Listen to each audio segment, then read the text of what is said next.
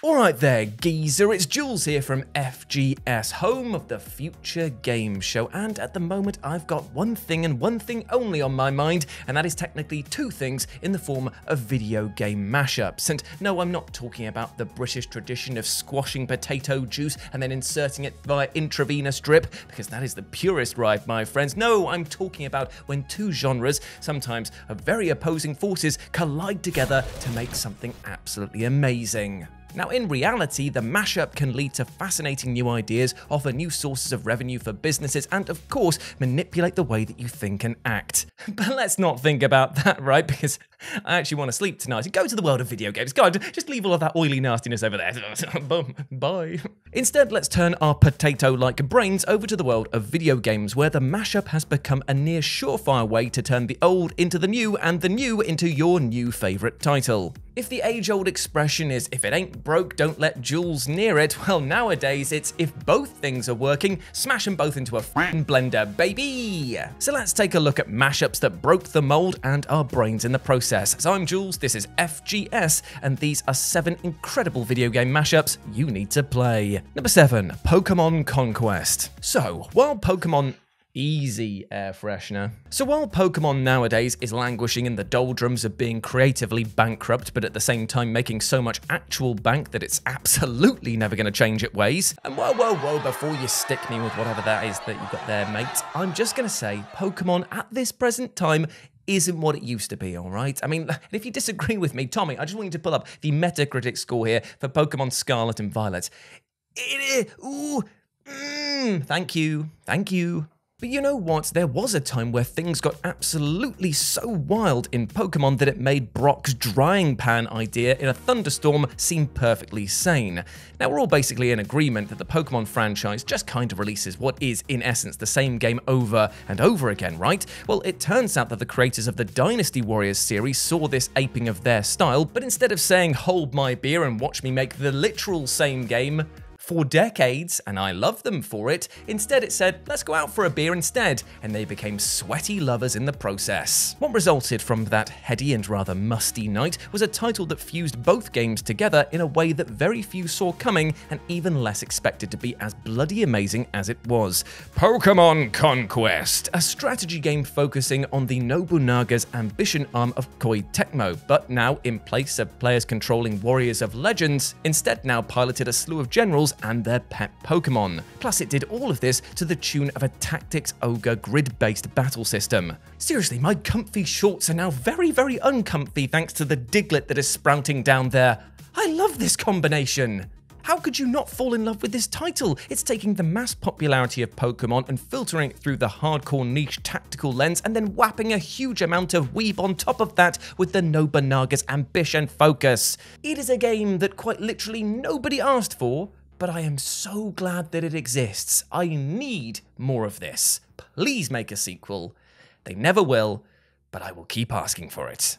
Number 6. Pacific Drive. Now, sometimes it's a very small facet of a video game that will allow it to live rent free in your mind for absolutely ages. It could be a character design, it could be a smarmy remark that somebody makes in the course of a dialogue tree, or, as is the case of Pacific Drive, it could be the combination of two of my favourite things that I never thought would ever collide survival horror and a driving simulator. If you're ever sick of seeing vehicles crap the bed as soon as they're needed in horror films, well, this is your chance to truly stick a carrot up that tailpipe, as in Pacific Drive, your motor is your only companion. Kinda like me and Tommy, right? is he there? And you're to keep it in tip top shape if you're to ever understand the anomaly that has consumed the local area. What this translates to is a desperate battle against strange creatures made of scrap, scavenging spare parts while under the constant threat of the ground giving away from underneath you, and of course finding out what the heck the giant red beam of death in the center of all of this is hiding. Oh, and the route changes each time that you die, making this, as the devs have termed, a road light. Which leads me to my only criticism of the game so far, in that the devs had a surefire win with a different term, and that was survival horror. Thank you, lads. I'll be sending you an invoice in the post for that banger. Dangerous driving, survival mechanics, base management, and a disturbing slew of enemies? Well, pass me a plate because I want to fill up on this oil covered mash.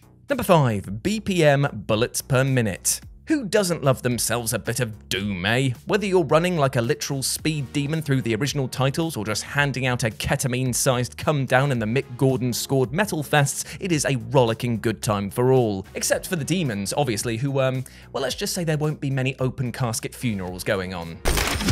In fact, some would say that the soundtracks to these games are some of the best. Say the line, Jules. Of all time! You thought I forgot about it, come on. Yet, do you know what would be even better than slaying to the sounds of God's banging? Well, making music a central part of your gameplay. And that's where Bullets Per Minute comes in, a game that mixes Doom esque aesthetics and gunplay with an absolute belter of a soundtrack that also informs when the player can shoot, reload, dodge, and unleash their special powers. That's right, my friends, you're going to need to learn how to bust a move before you can bust a cap in the faces of your enemies, and you can literally moonwalk into hell itself, point at the devil, and say, say, disco may be dead, but so are you, mate. Yeah, you're right. And you do this all to the backing tracks of some absolute face melters. Plus, alongside the immaculate gameplay, crushing difficulty, and selection of characters with their own loadouts and perks, BPM also has the cutest video game vendor ever in the form of Huggins. Look at this guy. Look at him closely. He is your everything now. Number 4, World of Horror. So, if Netflix's recent foray into trying to ruin Junji Ito's seminal horror work has left you feeling as dry as a bone, seriously, could we have not sprung for, I don't know, some more animation in this animation? Well, fret not, my friend, as World of Horror will most certainly chill up your spine. I say this because this is effectively a mashup of Junji Ito's iconic presentation, classic choose your own adventure horror books, and the even greater classic that is the Nintendo Game Boy. Oh, and by the way, all of the artwork that you see in this game was 100% drawn on MS Paint. If that is not dedication to the craft of torture, I don't know what is. Thankfully, the writing and direction of this multi-path horror gem is as tight as your voice will be in your throat upon encountering one of the many, many horrific beings that look like they beat up your worst nightmares just for the fun of it. Now make no bones about it, this is a mean-spirited game in the best way possible, punishing the player at every turn and instilling within them that every action they will make will likely be the wrong one. Add to this an ever-building doom meter that will see an ancient god crush the world into a pancake should you fill it up and you have got a cardiac arrest in one bit form, and I love it. Plus, it's just coming out of early access now. Hmm. Number three, Creature in the Well. Now, there are so many things on paper that shouldn't go together, but somehow just work out brilliantly. Chilean chocolate, myself and childcare payment avoidance, and of course, pinball and dungeon crawling.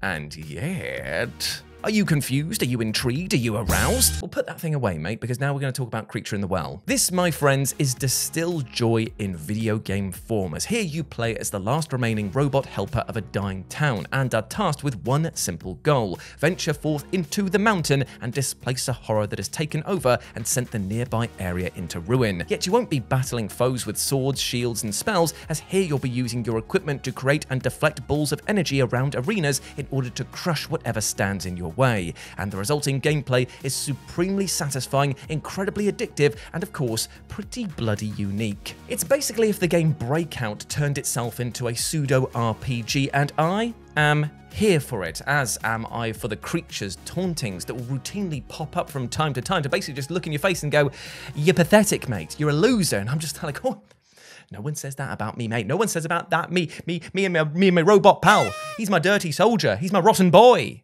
In short, it's a staggeringly fun title and you should definitely play it. Number 2, Laika, Aged Through Blood. Now here, alongside Pacific Drive, is another one of those ones to look out for, because Laika Aged Through Blood has a concept so delicious that it could age like fine wine should it be able to stick its landing. Now the first thing that you'll notice about this title is that it looks absolutely stunning, detailing a hand-drawn art style that looks like if Aggretsuko was fused with Mad Max. Yet don't let the cute aesthetic fool you, as the mashup on offer here is one of high-octane action, as this is basically a fusion fusion between Metroidvania titles and Trials Fusion, hence the team coining the phrase Motorvania. Yeah, alright, that one's much better than the Pacific Drive one, and I, I can't think of a better one. I, I, I came up with Mo- Met Drive Vania, but I, I, don't I don't win all the time, all right? And that classic portmanteau is just the tip of the iceberg. As from the footage that's already been released, it looks like that motorbike is going to be far more than just a traversal gimmick. As in combat, you can see the underside deflecting bullets and other projectiles, meaning that you'll have to balance aerial stunts with protecting yourself in order to survive. And yes, I'm also very happy to see our hero wearing a helmet because,